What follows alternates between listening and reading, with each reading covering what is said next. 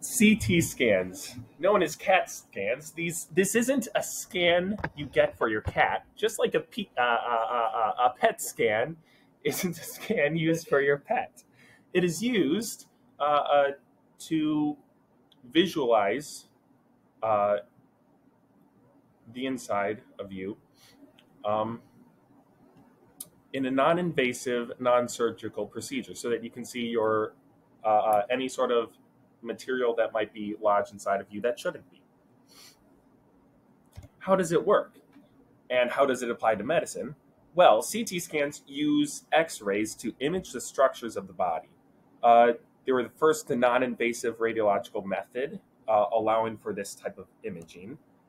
And they work with the X rays. Uh, X rays are able to pass through objects, such as soft tissue, less dense objects, and they don't pass through other objects of the body, such as bones. Uh, this is very similar to light because it is light. Uh, it's very similar to visible light in that if you have a thin piece of cloth you hold up, visible light can shine through it. But if you have a wooden brick, it won't. So a CT scan will take a background plate that will absorb any uh, X rays that get through the body. That way, when X rays are pushed through the body, any X rays that aren't able to get through will leave a shadow on the wall. In a CT scan, it rotates the imaging around your body in a circular motion. That way, you have a bunch of 2D images that, when put together, can create a large 3D scan of the inside of your body which is a very big improvement over a plain X ray machine, which can only produce one 2D image from one angle. The physics principles um, X rays are a form of light. Their wavelength is 0.01 nanometers to 10 nanometers. For reference, visible light is 400 to 700 nanometers uh, so much, much smaller, far outside of the visible light spectrum. Uh, we discovered how to produce them by accelerating electrons through a potential difference, such as a voltage drop, and directing them at a target material, such as uh, uh tungsten. And as the electrons hit the target material, X rays are released. And then they're able to go through the object and form um, an image.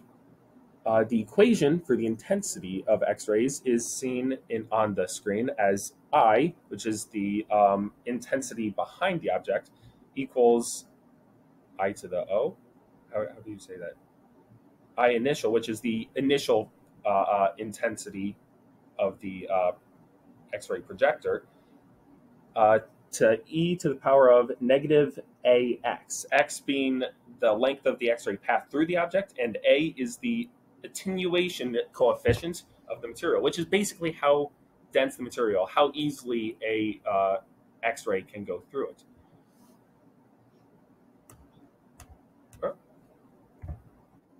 Okay, so why are CT scans used in medicine? As Ben discussed, it's used to make a visual image of bones, blood vessels, and soft tissue. And as such, it's more detailed than having just an x ray because a normal x ray will only show you the hard tissue like bones, but not any of the soft tissue as well. Um, so, a CT scan, you will go and lay down on the table, and then the you will go through the like the tube donut shaped thing and it will take a series of x-rays going all around your body to get a kind of 3D sort of image. So this is really useful for people with internal injuries. For example, if you get in a car accident or you have some sort of other internal trauma, um, you can have a non-invasive procedure that will kind of help the doctor to see what is happening inside you.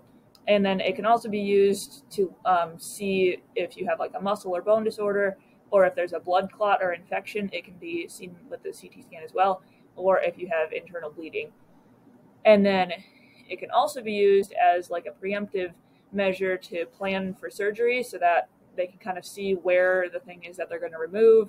Um, or for radiation treatment, if you have a tumor or something, and they can see how it's growing, and then if the treatment is causing the tumor to um, shrink as well. And then just a couple other things that they're used for to detect liver masses, um, nodules in the lungs, in the lungs, and other problems as well. So you can see they're kind of have really far-reaching uh, uses in medicine. Um, the main uh, risks that we're talking about when we discuss CT scans is the exposure to radiation, um, which is pretty brief. Uh, a CT scan procedure will typically take um, only a few minutes for the actual procedure. Um, and the actual dose of radiation depends on many factors.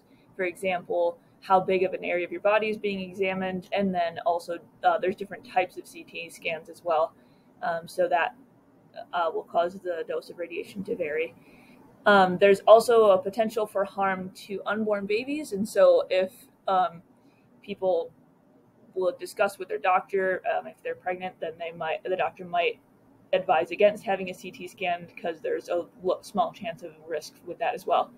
Um, but the main thing is radiation, and the um, the problem that that causes is that it increases the risk of cancer, but how much it does so depends on, um, like we talked about before, the area of the body that was subjected to the radiation and then the person's age and gender as well. Um, they also will sometimes have you take um, this like liquid beforehand um, when you get a CT scan. That's called a contrast material, and that helps to sharpen the image and kind of point out um, certain things that the doctor might be looking for. And sometimes people will have an allergic reaction to that but that's pretty rare. And then the other risk that might happen is that if they find something that ne- they weren't necessarily looking for, um, people will sometimes have unnecessary surgery to get that out, um, even if that wasn't what they were planning on. So that can lead to a more invasive uh, surgery as well. Um, so this table kind of shows um, the risks associated with different types of CT scans of the radiation. The units are in millisieverts, uh, which are uh, one thousandth of a gray. Um, however, because of the variation in the procedure, the actual radiation dose could be several times larger or smaller than those estimates. So, um, just as kind of a comparison, the effective dose for a CT scan is usually about 1 to 10 um, millisieverts, but um, if you compare that to like people who survived the radiation from like an atomic bomb in Japan, they got about five to twenty, so quite a bit higher. Um, and then the increase in possibility of fatal cancer due to a dose from a CT scan is only about one in two thousand. So if you compare that to the chances of getting cancer normally, which is about one in five, um, the the dose that you would get from a CT scan doesn't really increase that much at all. Um, and then if you weigh that against the risks of not getting a CT scan, if you have some internal bleeding or something like that, then um, the benefits really outweigh the risk. Okay, some history with the CT scan. Uh, doctors like to say one year in real life is like 10 years in CT time, meaning that the progression of CT scans are quite slower than a lot of other technology because of how complex they are. So, in the early 1900s, um, Alessandro Vallebona invented the tomography, which used radiographic film to see a single slice of the body. Um, and then in 1967, Sir Godfrey Hounsfield invented the first CT scanner using X ray technology. So, this was a big deal because it was a new use of this technology. Um, and fun fact Many think that the Beatles, their, their record sales in the 1960s, helped fund the first CT scans development, which is really interesting. Um, the first CT brain scan was performed in 1971, and then in 1973 is when the US first installed our first CT scanners. And by 1980, over 3 million CT scans have been performed. And by 2005, the number was over 68 million each year. So we've gotten to use this quite frequently because of how effective it is. And then in 2008, a new generation of CT scans were developed that could take images of beating hearts and coronary arteries instead of just bones in your brain. Um, and then in 2010, the FDA launched their initiative to reduce unnecessary radiation exposure, which brought attention to the reducing radiation, as Maya said, could be um, a big risk. um, and then, actually, over 20 years ago, a CT scan would take about 30 minutes or more to get done, but now it takes less than three seconds to get all the images and information that you need. And they say that the new image reconstruction techniques have developed to reduce the radiation by 70 to 80% over the past four years. So the ra- radiation coming from CT scans have actually decreased recently. Um, a William Eversman, he's an MD, chairman of radiology at the Mayo Clinic in Arizona, he said, In our lifetimes, I don't think that we will reach the technology of Star Trek, where you can wave a wand over someone and instantly diagnose them. But step by step, we're getting there. So it's taking a lot of time to get to where CT scans could be, but eventually they think that we may get there. Um, so CT scans improve diagnoses, they limit unneeded med- medical procedures and enhance treatment. They can see things that doctors would un- otherwise be unable to diagnose and see. Um, they are able to rule out heart disease and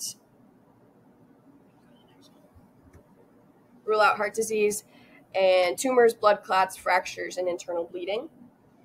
Um, they before CT scans, if doctors wanted to look for a brain tumor, what they had to do was inject air into the spinal column they then roasted the patient to allow the air to bubble up into the area around the brain to increase the contact in the standard x-ray images. So this image here is done in the spinal column. As you can see in the image on the right, there's that air gap that was filled, the bubble. Um, doctors say that before the CT scans for this air um, technique, patients routinely vomited. It was like torture. But now with CT scans, imaging is quick and completely painless. So CT scans have proven to imp- improve the lives of millions of patients because of the quick and easy diagnoses that we were able to see. Um, João Lima, the director of cardiovascular imaging for John Hopkins, said, "Speed and diagnostic accuracy are the bottom line." Um, CT scans are able to do this, and it is expected that there are many new improvements coming in the next couple years. Um, better care has been made possible due to these scanners. Quicker diagnoses, more accurate treatment, and safer procedures are a result of the CT scans.